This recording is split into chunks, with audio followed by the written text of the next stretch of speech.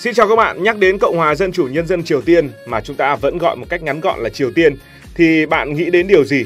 Đó là sâm, à, đó là vũ khí hạt nhân. Thực ra thì đa phần đều có chung một à, suy nghĩ đó là sự bí ẩn, sự khép kín đến kinh ngạc của họ. Triều Tiên trước nay vẫn được xem là quốc gia khép kín và bí ẩn nhất trên thế giới với một cái nền chính trị hà khắc, không cởi mở với thế giới bên ngoài. Tuy nhiên, chính sự bí ẩn này lại trở thành điểm thu hút với những người đam mê du lịch và đam mê khám phá.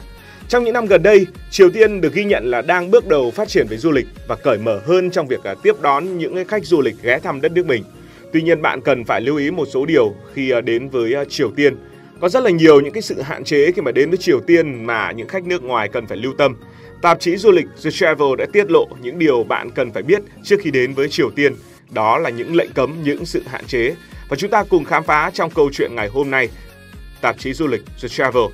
Đầu tiên nói một cách tổng quát, Cộng hòa Dân chủ Nhân dân Triều Tiên, gọi ngắn là Triều Tiên, đó là một quốc gia nằm ở Đông Á. Họ nằm ở nửa phía bắc của bán đảo Triều Tiên và tách biệt với Hàn Quốc ở miền Nam. Hai nước trước đây từng là một quốc gia thống nhất. Biên giới phía bắc của Triều Tiên thì đa phần giáp với Trung Quốc, dọc theo sông Áp Lục và Đồ Môn. Bắc Triều Tiên và Liên bang Nga cũng có đường biên giới chung, nhưng mà đường biên giới này chỉ dài có 18,3 km mà thôi, dọc theo sông Đồ Môn ở phía đông bắc.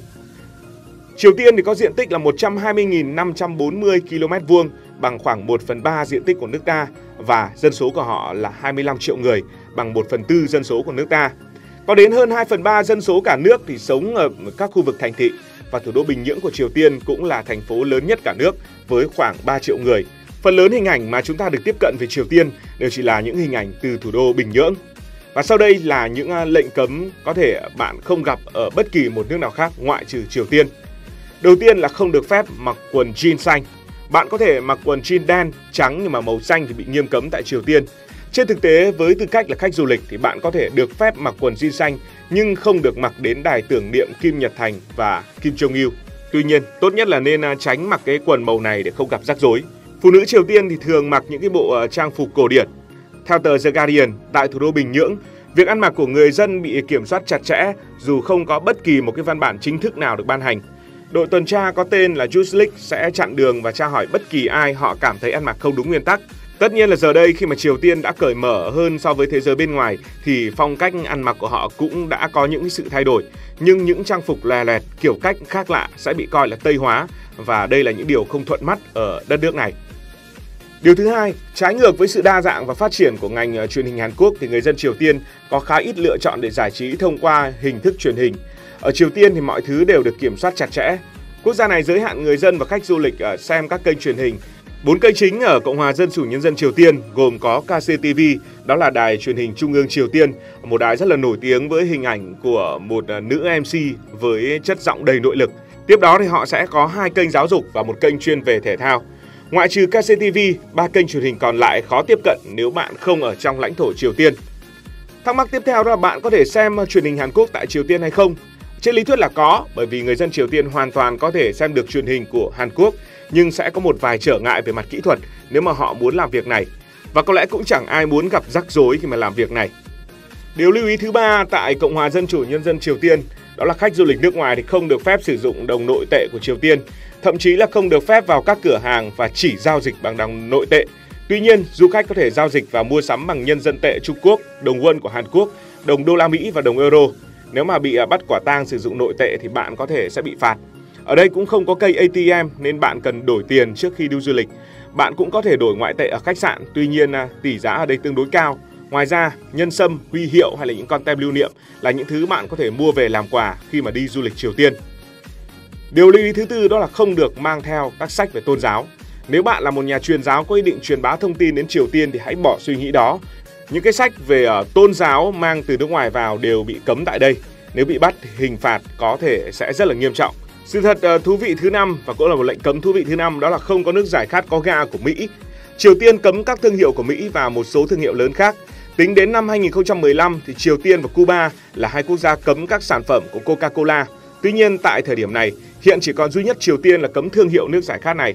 Một vài năm về trước thì các phương tiện truyền thông phát hiện Coca-Cola từng được bán tại một nhà hàng ở Bình Nhưỡng.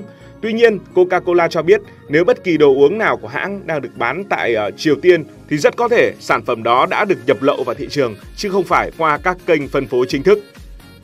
Điều cấm kỵ thứ sáu đó là những quy định nghiêm ngặt về việc chụp ảnh. Chụp hình sống ảo là sở thích không thể chối từ của nhiều khách khi mà đi du lịch. Thậm chí nhiều người đi du lịch chỉ để chụp hình sống ảo. Tuy nhiên, khi đặt chân đến Triều Tiên thì bạn sẽ phải tuân thủ một số quy định khắt khe trong việc sử dụng máy ảnh và chụp ảnh. Du khách được phép chụp ảnh tại Triều Tiên, nhưng riêng tại những khu vực biên giới thì ờ, sẽ có người kiểm tra máy ảnh và có thể xóa đi những hình ảnh mà họ không hài lòng. Máy ảnh tuy được mang theo, nhưng ống kính tele có khả năng zoom từ 200 cho đến 300 mm sẽ bị giữ lại ở cửa khẩu và đương nhiên là sẽ trả lại cho du khách khi quay trở lại hoặc bị tịch thu khi phát hiện. Vì vậy số lượng hình ảnh của đất nước này trên mạng xã hội thì không phải là quá nhiều. Điều lưu ý tiếp theo khi mà chụp ảnh đó là không được chụp ảnh người dân đang lao động hoặc liên quan đến quân sự, dù là ảnh về lính gác cũng phải được sự cho phép của cơ quan chức năng.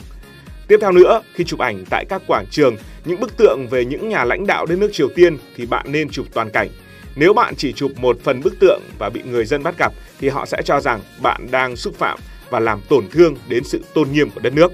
Điều cần lưu ý thứ bảy đó là không được thảo luận về chính trị và phải vinh danh nhà lãnh đạo. Người dân địa phương cũng như du khách đều bị cấm bàn luận về à, chính trị, đặc biệt là những cái phần à, chỉ trích.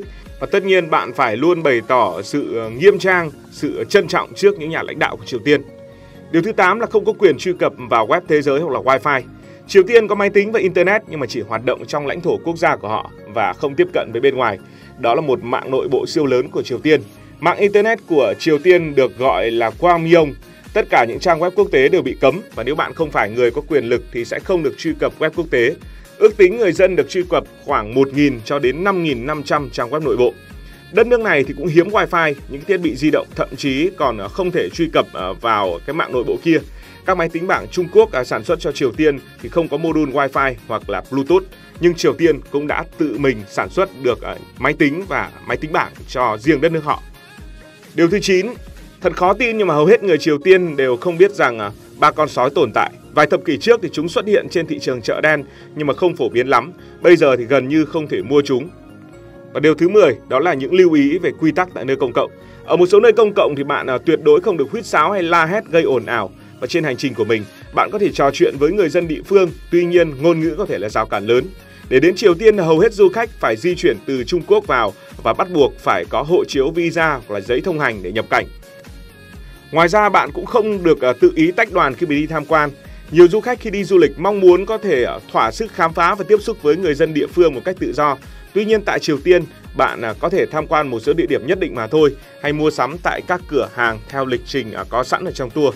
Tất nhiên, du khách phải tham gia các hoạt động này cùng đoàn hoặc nếu đi tự túc phải tìm hiểu kỹ nơi nào được đến, nơi nào thì không và đó là những cái điều khá là thú vị và bất ngờ về Cộng hòa Dân chủ Nhân dân Triều Tiên. À, tất nhiên là theo thời gian thì sẽ có rất là nhiều điều đã được cập nhật và có lẽ là một số điều không còn đúng nữa.